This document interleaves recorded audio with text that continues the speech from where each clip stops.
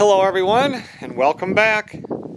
It's been a couple of weeks since I filmed anything on the guest house. A lot of things were going on and the main thing was I was waiting for windows and doors and all the doors and windows except for one window arrived today. I haven't even cleaned up in here because I've been waiting till I can cut the uh, house wrap off over the door opening. I have it all closed up so no critters get in here. We've had skunks been eaten up with the cats up by the back door. yeah, we had a bear that was on the back porch. Uh, I just want to keep everything out. So once I get this stuff cut open, I can toss everything right out the back into the junk pile. Most of it anyway. Some of it's still good. But we will go through setting windows, show you the proper way to do it. Again, there are several proper ways to do it, depending on what you have as a house wrap or, you know, different stuff. But I'll show you the most generally accepted way and talk about a couple of other things you can do if you're, like this is new construction. What about if you're replacing a window in your own house? You got siding hitting against the window and everything. So we'll talk about a few of those things. Well, generally, when you put the house wrap on, you'll just run it right through the windows and leave it there so that no, you know, uh, rain, nothing can get in while you're waiting for the windows. And there, the window is supposed to go against the house wrap on the outside. So what we usually do is come in like this, right in the corner, cut at a 45 roughly,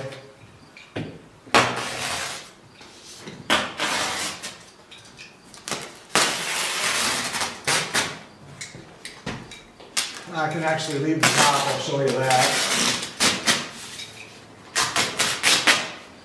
We want the three sides like this so I can wrap them inside. And by code, they want that wrapped in. Doesn't have to stick into the room. I'll take this off. On the top, and this, now this is a flanged window.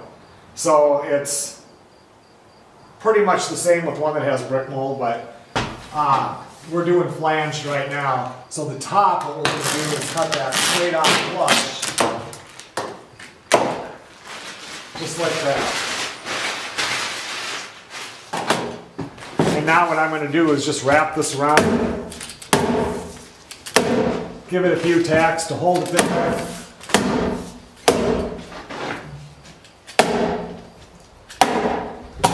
And I don't need this sticking inside, so I'm just going to take, the other ones don't. I'm just to take and cut that right off. I can see that the camera is going to be difficult because it's kind of dark in here and light outside and it doesn't know what to do. A lot of times when we're doing windows, they'll send out a piece of cedar siding. You know, it goes from about an eighth, almost nothing, to three eighths to a half inch on the side. And we will put a piece of siding on here before we put the window in here. And that actually should go underneath this house wrap and it should go down on there. The reason being, if any water does come down and hits the sill, it will run outside. But you can get around that by just taking your sill, if you don't have any of that, and hitting it up on the bottom. Just to get it to slope away. Normally, if you're doing that and you're going to get this inspected, they're going to want you to put a little shim in here to hold it. I'm not worried about it. These windows do not come all the way inside. Like if they already had a 2x6 extension jamb on them, they would come all the way in. There would be a like a flat part on the window, so some of the window weight would hit here and could actually push this down. These windows only come in, you know, a couple of inches so all the weight's out here. I'm not worried about it. I'm just going to leave it like this. There's a little bit of slope on it. You're past what code needs it to do.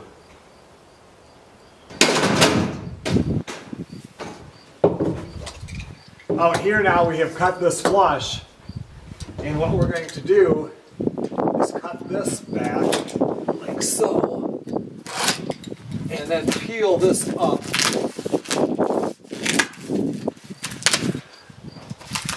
What I want to happen is once the window will go against here, it will go against here, and once that's done, this will go over the top of the flange.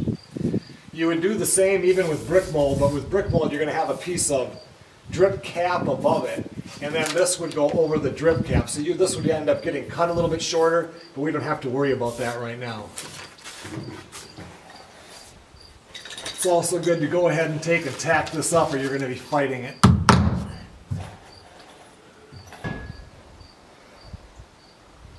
Just want to give you a close-up view of what I've done here.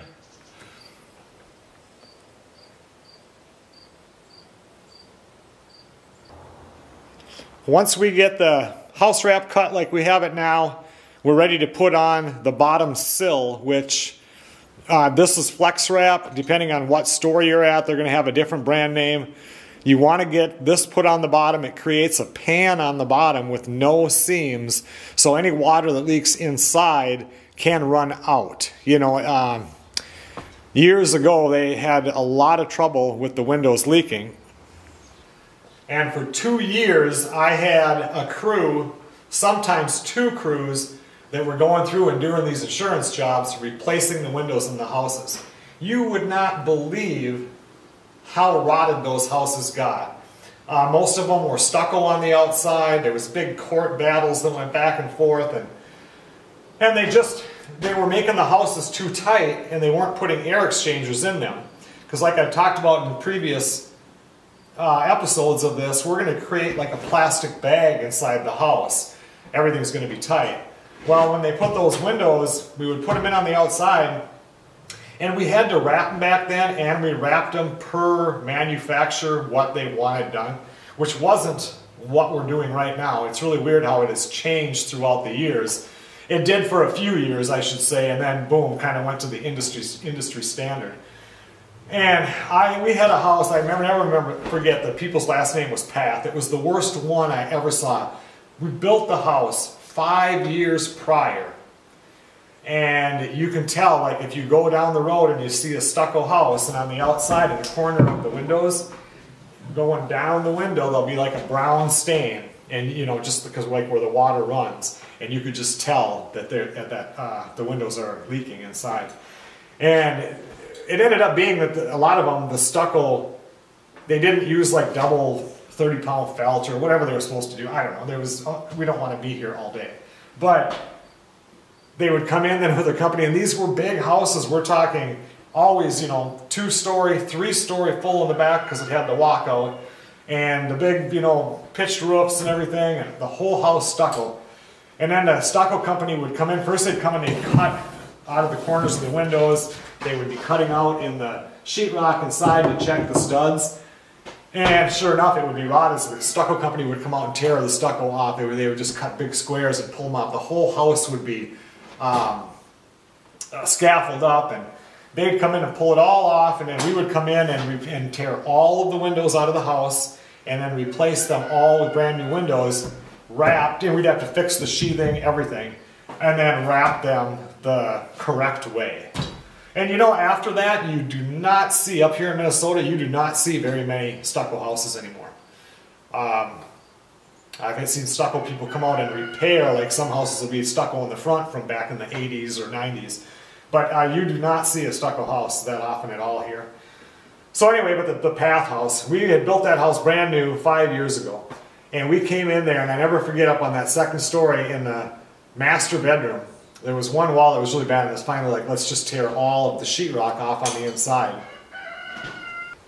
And it was rotted so bad that there were some studs that only had about three quarters of an inch of stud right here that was not rotted. All of this, you could just push your hand right through it.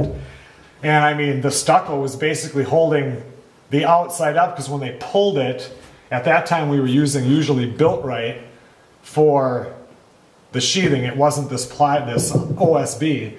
And that was just flake off, come right off with the um, stucco. But I mean, beforehand though, we cut the sheetrock off just to see what was going on because there was so much moisture and you could just push your fingers through it. So then what we'd have to do is, is put a beam underneath the, the trusses or underneath the sheetrock on the inside, yank the whole entire wall, rebuild the whole wall, you know, sheeted. So you can see where this got into be, you know, a house like that, it might have been $100,000 or probably more than that just in the insurance job to do it. So then they kind of got serious about wrapping windows and, and air infiltration into the house, and they had to put in the uh, air exchangers and everything.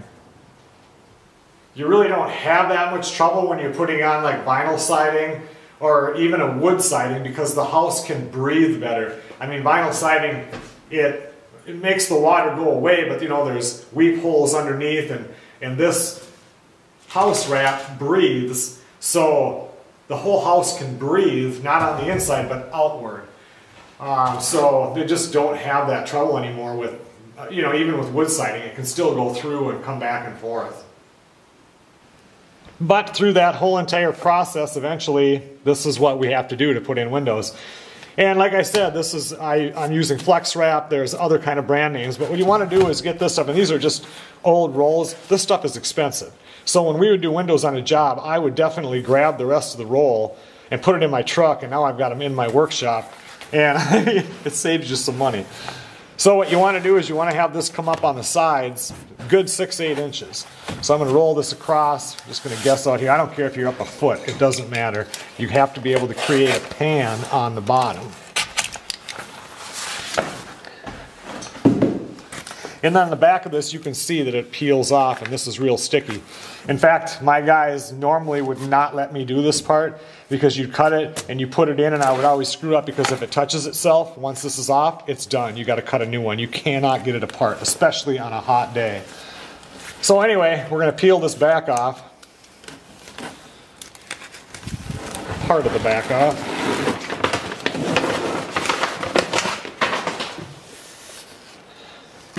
And then we are going to set it,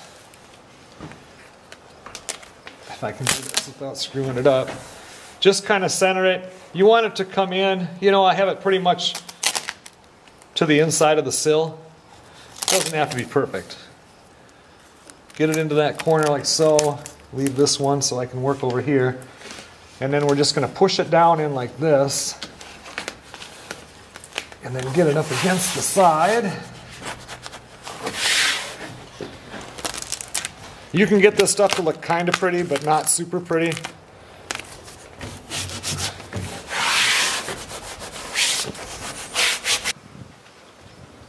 So now you can see what I've got right here.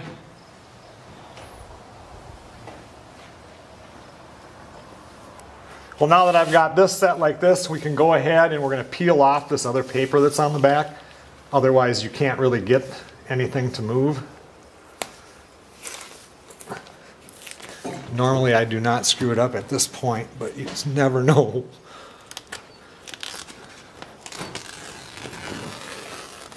So I'm just going to peel this off. I'm trying to get that camera so it shows it good. I think this is good. Now that that's off, I can take and flex wrap, push it down. Just like this.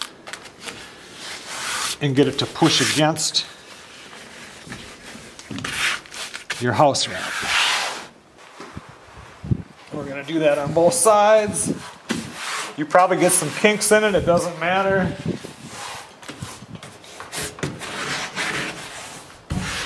You see how beautiful that looks? It's created a whole entire pan on the bottom. And it's weird because for a while, when they were figuring stuff out, I can't remember if it was Andersen or we used to put in a lot of Norco windows, Marvin windows. They actually came with a plastic piece that would fit on the bottom. It was all just molded plastic.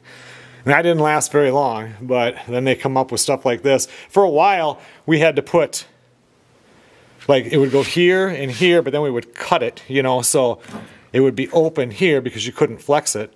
And then we would have to put a piece up inside of here and then there was caulking that had to go in there. Sometimes we even had to have an inspector come out and inspect one of the windows prior to putting it in so they knew we were doing it right. It was a real pain in the butt. But if you notice when windows leak, usually the rotted part is below the window. Well here now, any water that comes down here, it can't go anywhere. Everything is solid, no seams. My sill is at an angle so water can run out and it will then go over the house wrap and run down. And house wrap is kind of like tar paper on your roof. It's not the best thing in the world, but it's better than just going against, say, you know, built right or OSB or DensGlass, whatever kind of sheathing you have on the house. And this is a perfect example of what I mean. If this would have had the pan in there going up the side, and then we're gonna, you know, we're gonna put the window in, but we're gonna have window wrap that's gonna go here, which you would see, which is gonna overlap onto this. There's no way this can happen. Everything would have ran outside of the house wrap and just ran out the bottom of the wall. Well, the next thing is the actual install of the window. And that's going to take me about 10 minutes to do, but Melissa should be calling me anytime on her ride home from work. So we'll come back to this after that and we'll get this thing installed, show you how to wrap it, and then we're going to talk about a couple of other things as far as different kind of installations. And then you can just watch me do this over and over again on this house and you'll pick it up by the time I'm done. I think we're going to come back to this tomorrow. Melissa just got home, but it's almost 7 o'clock. She had to stop and do a Walmart pickup, and we got everything inside and everything. I think I'll start this in the morning, which kind of sucks because today it got to 70 and tomorrow's high is something like 57 or something. Weather's changing. Good morning, everybody. Sounds like we're going to have some spotty rain off and on today. I wanted to get out here and get on these windows. So let's get this first one put in. The first thing I did after I took the plastic off this window is I opened it up and I removed the screen. You want to get rid of that screen right away. I'll put this inside in a corner. I'll actually, once I get all the windows in, I'll put them in the workshop where they're safe. Because I'll guarantee you, somewhere along the line, you're going to ruin the screen. And usually we don't put those back in until the job is pretty much done because you could be doing anything and scratch that screen and then you've got to get it fixed. Well now we're almost ready to set the window, but we have to run a bead of caulking for the window to push against. And we're going to do that on both sides and we're going to do it on the top, but we're not going to do it on the bottom. So I like to use clear silicone. Anything will work, but if you use a clear silicone, especially with bigger windows, sometimes it can get messy trying to get them in the hole and get them lined up. And if you are putting in a white window and you're using brown caulking, you're probably going to get some on the outside of the window or worse yet on the inside of the window. We just want to do it like that. A nice continuous bead so no water can get behind the window. What used to happen when the houses were so tight, the pressure was different outside from inside and it would actually suck the moisture around the window behind it and into the house. So this when they come up with all this stuff, and then I usually put some right here in this corner just to, I don't know why. I think at one time that was code. But we don't want to put any on the bottom. And the reason why is if any water does get, like say it got on the sill, however, through the top, whatever, and this is sloped so it can come out, but it wouldn't be able to come out because there is a bead of caulking here. So then everything is dammed up inside again. So nothing on the bottom, just on the three sides.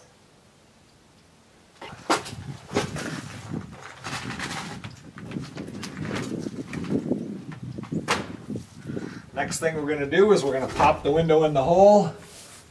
And if you're doing this yourself, you know, you want to get it centered so you can get uh, foam insulation or even fiberglass insulation in there. But you can just slide it back and forth and pretty much guess and you'll be close enough like that. Windows are easier with two people. Uh, uh, actually with something like this you'd almost need three because if the windows have extension jambs already on them that go all the way inside it's easier to deal with as far as centering and leveling on the inside. With these kind of windows you have to level on the outside. But the nice thing with these is this is a single hung window so only this side opens, the top doesn't. So with this unit being completely fastened in there you're as square as you're going to get if if this is level, this is level down here. Where if it's a double hung or a slider window where both of them slide side to side, you can move that window. So then usually I'll come in and we'll level the bottom first, then go ahead and do the side, put one nail in it, and then we'll square it corner to corner. That's super important. If you ever have to go to court because of a window that doesn't work, if that window isn't square, you're screwed. Because you can you could have this window a half inch out of level and a half inch out of level here. As long as it's square, it will work per manufacturer's specifications. Square is important. Here, I can't do anything. I mean, I can maybe jog it a little bit, but I'm not doing anything because this is not moving up here. It has been set by the factory. So now that I've got it centered, I'm just going to go ahead and level it. And I can see that my top has to go towards the door. So the first thing I'm going to do is nail this bottom corner because I know that can just stay in one place.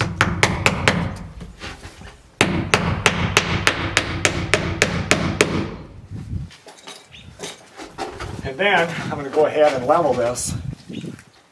These windows are kind of nice because that siding can go behind here without having a channel on it. And that these windows, are they the best windows? No. They're they're good, they have like three, good, better, and best. These are better. Uh, if I would have got the best window for this brand name, and this just happens to be the brand name that the store I got them from had, and they're very common, um, they would have been more than double. So, you know, money doesn't grow on trees, so people can say, why wouldn't you put the very best window in? I, who, I'm not going to afford that, you know? So, I just, these windows will be absolutely fine. They pass all the uh, energy code and everything. So now I'm going to level it this way. And when I nail these in, I'm using a roofing nail. I happen to have two inch because that is what was in the workshop. Inch and a half would be fine.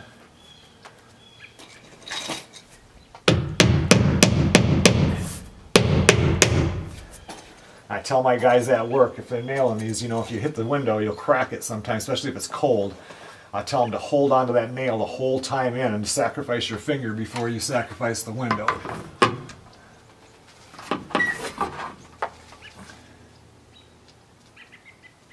That looks pretty good. I'm going to go ahead and double check on the bottom.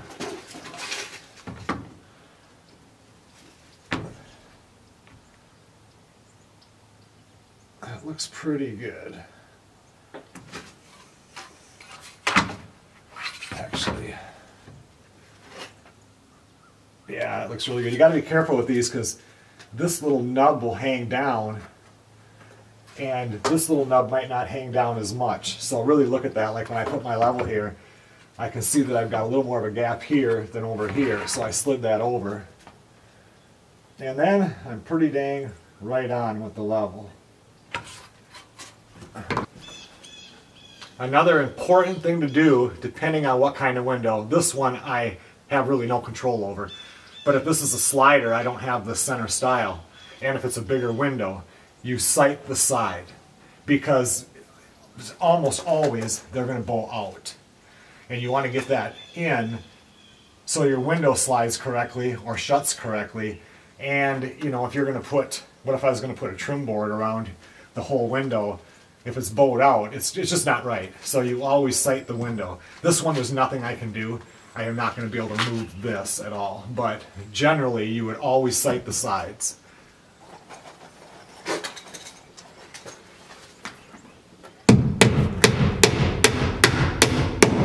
Now that the window is set, you have to put a nail in every single slot. No skipping over one. Every hole gets filled.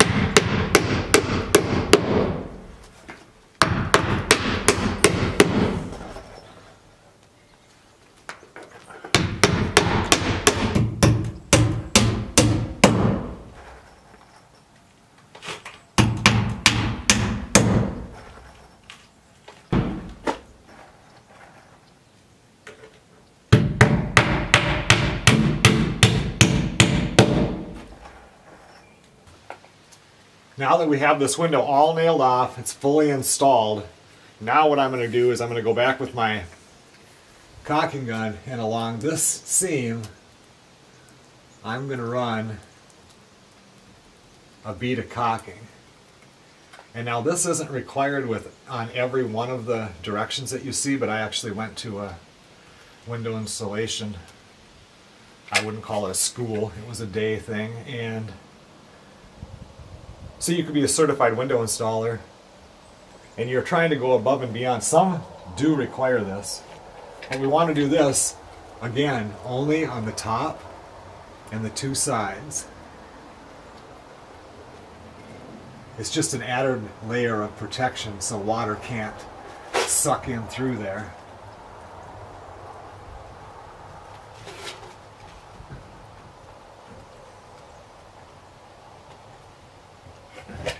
And then what we're going to do is every single nail and that slot that it fits in, you're going to do this to make sure it's covered in caulking or clear silicone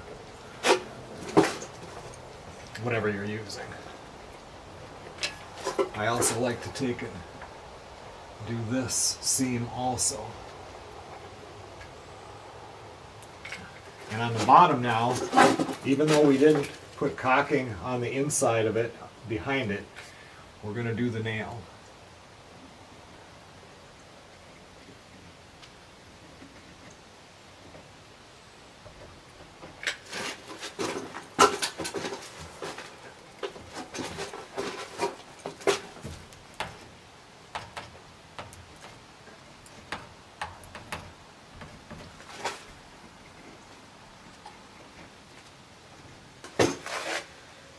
Once we have this done, now we can pull this and take and run that back over the top of our window. Like so. And now, some windows, you have to put a drip cap on top of them, which is just a little piece of, I don't have a pencil on me, I was looking for it yesterday, I don't know where I did with it. It's just a piece of metal that goes like this, and like this, and like this, a little piece of aluminum that fits over the top. This unit here, I don't see any reason. I mean, they even have the slot for me to put my uh, siding down inside of there. So it would kind of, since you don't have to put a J channel around this if you don't want to, I don't want to have a piece of J channel sitting up here when I, you know, one piece of J channel and nothing else around the window. You'd have to do the whole thing. So look at your manufacturing thing and see if they want that. It's also hard to find uh, drip cap if you're going to a big box store. Like I can't remember which one has it and which one doesn't. And Lumberyard will have it. But um, anyway, we're not going to put it on these windows. I, they will go above the door because the doors have brick mold on them. They do not have flanges. But uh, I would never put that on anyway until it's time to do the siding. Because then you're right up there, you can get everything sealed in really good as you're doing it. So but for this um, application on the windows, I'm not going to use drip cap. Now I'm going to measure my window, which is 42. So I'm going to cut 50 inch pieces there and I don't know, 30. And for the sides and the top, we're going to use a, this is a window wrap. It's just a four inch that goes around the three sides of the window. So it's easier to cut this, the initial cut, do it first. And this again is some stuff that's really sticky, so I have better luck with that than I do with the bottom. But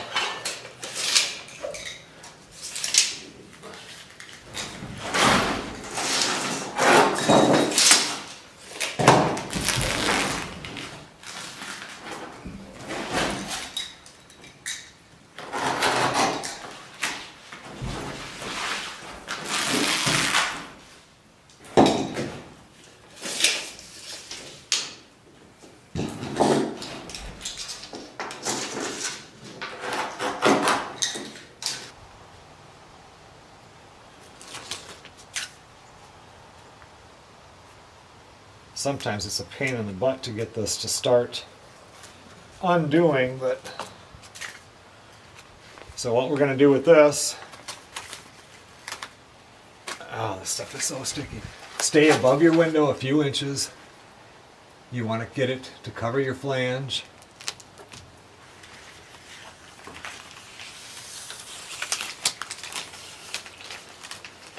And do not wear good clothes when you're doing this because no matter how good you are, you're going to get stuff all over the place. And then you're going to wipe it on your pants. We're going to go just like this. And you want to do this the same day that you did your caulking because otherwise then you can push it down flat. Otherwise you might get mounds of caulking here and then when it comes time to side, put the siding on and everything, you don't really have a smooth surface to work with.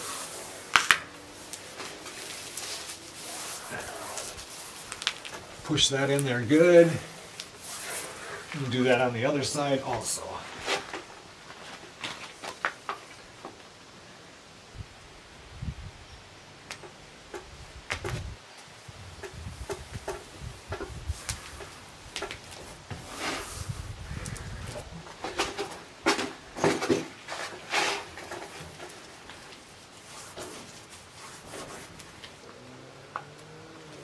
We're going to do the same thing on the top.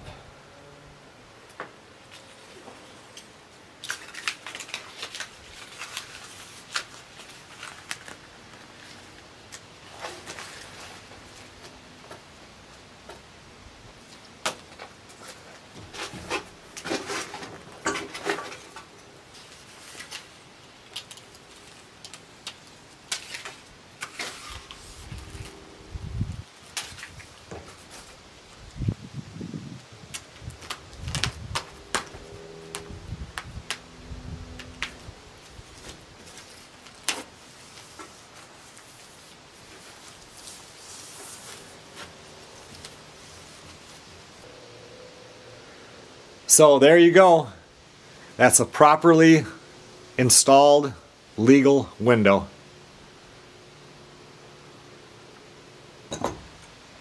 If you're putting a new window into like existing construction, where you pull the siding back or whatever it is that you do, I then, and it doesn't have window wrap on the house already, um, I will then take and put a piece of the window wrap, like when everything's open and framed to the right size if you had to do any adjustments, I will put a piece of this window wrap against the sheathing built right, you know, um, OSB plywood, whatever it is, and then go ahead and do my window install, you know, put the bead of caulking and everything, and then there'll be another layer that will go against that. And this way, if you ever do reside the house, they will come and put window wrap on there, and it'll still attach to this, but you have that barrier behind it also. So that's how I, I tackle that problem and never have any trouble with any inspectors or anything like that. If you have to, if you're pulling a big area open, then you could go ahead and put a piece of window wrap and cut it, but mainly you're trying to keep it as small as possible. Well, let's say that you're going to re be replacing your window, your house is all sided, it's sided right up against here. What do I do in that situation? And what you can do is just pull the siding back wherever you need it and then do your window or whatever, but you're gonna have to be doing some, you know, does the siding that we have now, if it's masonite or something, does the grain match? Can you get the same stuff, you know, the same color, whatever? Uh, you know, it's different if it's vinyl or something versus wood, if you're gonna have to paint it. So what we'll usually do then is normally the window itself will have a brick mold on it. And let's see, what's a brick mold? This is a brick mold, a piece of wood here that goes around the window or the door, and then you'll nail or screw through here to put it in. Nowadays, most everything is flanges, but back in the day, almost everything was a brick mold. Sometimes they would wrap it with aluminum, sometimes it's just sitting there that's wood, you know, that's painted. So what I do is I, if it's a flanged window, I will cut back about two inches. Cut around the whole thing so I can get at that flange, pull the nails. If it's a brick mold, you'll just pull the brick mold off. and there's enough room to put your new window in, which is probably flanged, but your window is going to be back here away from your old siding. So let's just pretend that this is the edge of the new window once it's going to go in and I have this cut back two inches so I could access it and do my work. What then I suggest people do, because normally if you're not replacing every window in the house, or maybe you are doing every window in the house, it's just one side of the house that got rotted away, you know, the window is because of the weather, and you are replacing one or two windows, whatever is on that side. So then what we usually do is say this is the window, then I say, okay, well now let's wrap this with a piece of trim. So all you've got to paint is the trim. You don't have to paint anything in here. And then once I get that window in and I'm cut back two inches or whatever, then say this is a this is five and a half, could be four inch, whatever. I just take that trim on, the new trim that's going to go around there, slap it up against the window, mark this, cut all this out, and then I can just fit a piece of this in there that goes all the way around and you've got a wrapped window and then you're only having to paint this. You don't have to go and try to match everything. If this is off a shade or two from your original color, you're really not going to notice it versus a piece of siding here. And then there's a one here and here where you're really going to see the difference. So that's normally how we do um, a window replacement if we're just, you know, replacing the whole entire window. Well, I'm to run in and take a shower. There's a few things I got to do, and then we're to get back out here and install some more windows.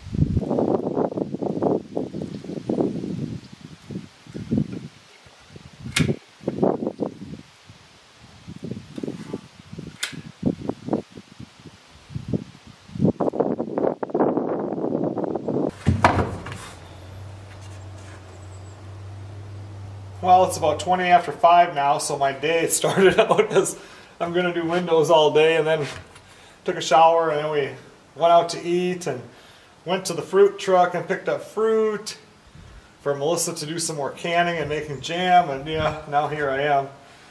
Ah, when we get a little bit wider window, like that one was so narrow, uh, if you level the sill first, like this one here, I can see that this side is a little bit higher than this side. And then I'll know that this is a good side to tack first. And then when I move the window, you know, it more than likely it'll be out of level and have to go this way and that'll pick this end up a little bit. But if I nail this side first, guessing, um, there's nowhere, there's no way to go that way. So it's really, really close, but it definitely, maybe a 16th of an inch higher on this side than this side.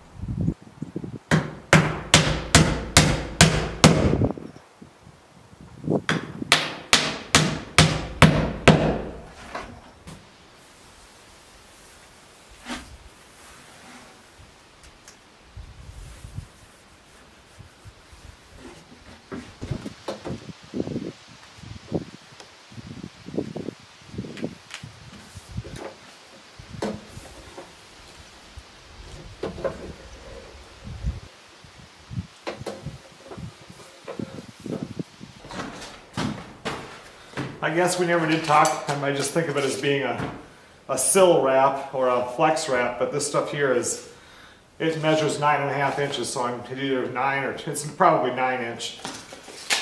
And this works good for two by six walls, but if it was a two by four wall, it would just wrap down farther, it wouldn't be a big deal.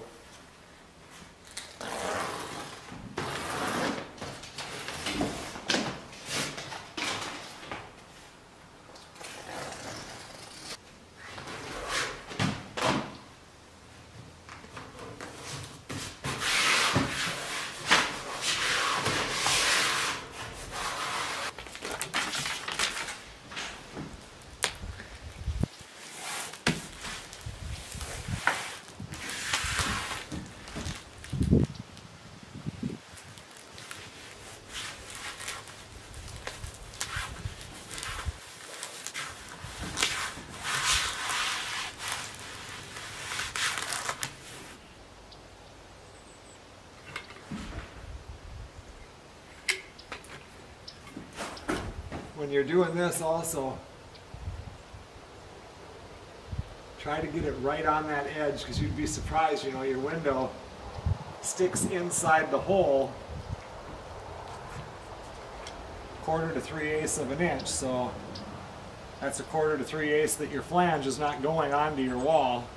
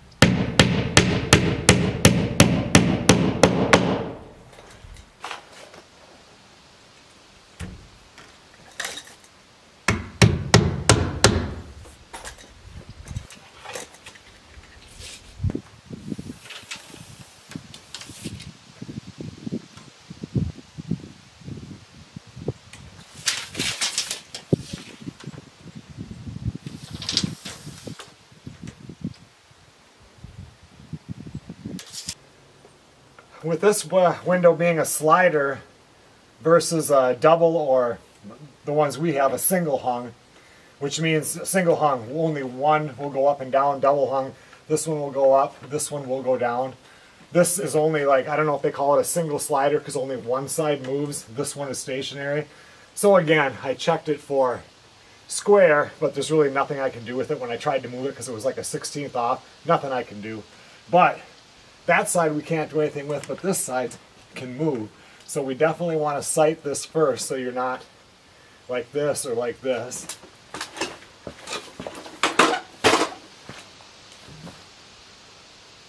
And this one is perfectly straight.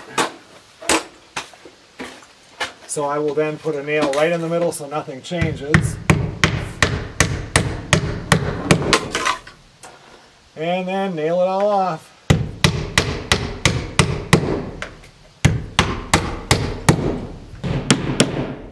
When I'm nailing off windows, I like to take smaller tabs to get it in because if you know, you can drive these in in two. If you catch this edge, it's going to snap it right off. Especially on a very cold day. You have to even be careful when you like have the window sitting on the ground and you move them. It'll snap this flange off. And then you're sitting there putting it back up in there and caulking it really, really good so nobody can see it.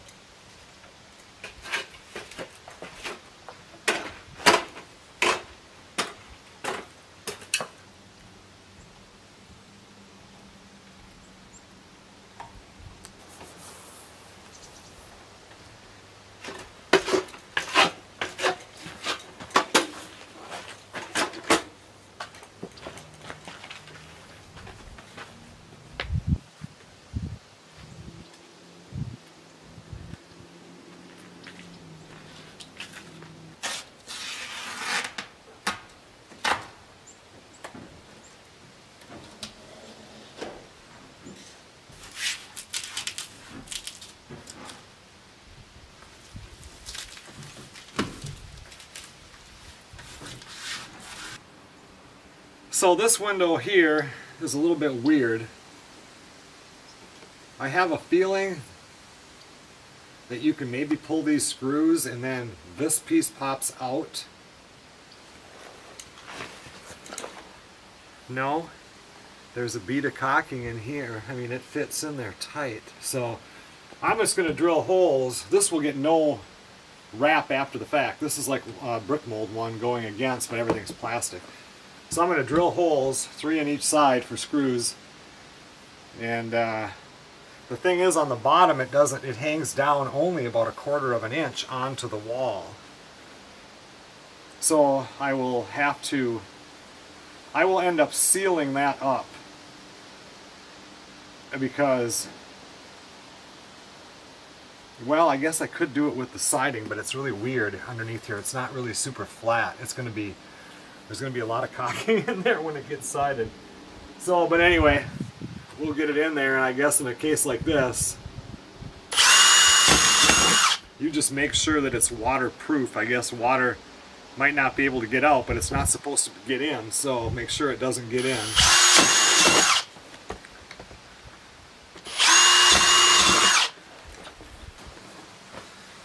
When you're putting in a crank out window like this, you know, I'm doing this from the outside. I'll do my little centering thing, and you can watch this gap right here. This is a pretty small window to get out of square, but you can tell, I mean, if this gets tight, and this is open, and this is tight, you know that it's out of square and it has to go back.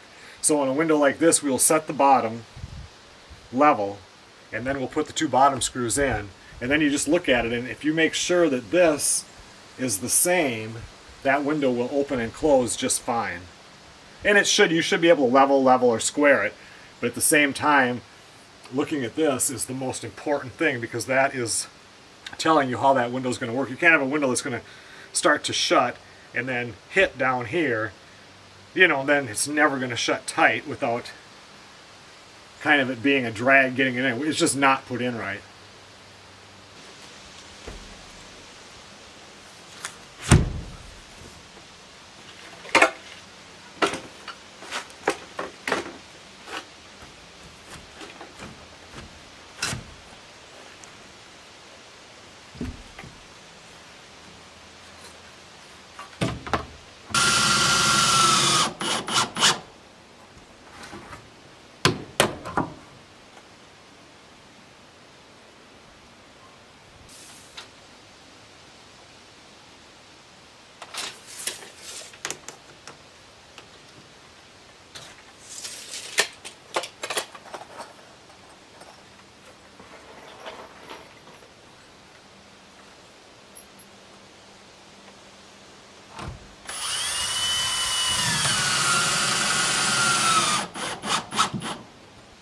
So for this window, since it's not going to get sided before winter, I'm going to take and run a bead of caulking, a small one right down here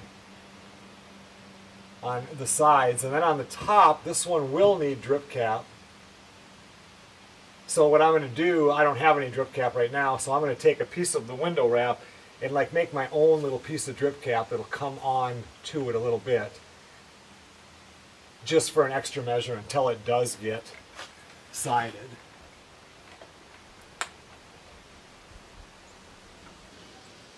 You can see right there what I did. Don't know if you can see that top, but I just bent it around so it kind of creates a drip cap. And I ran a solid bead of caulking around across that whole bottom.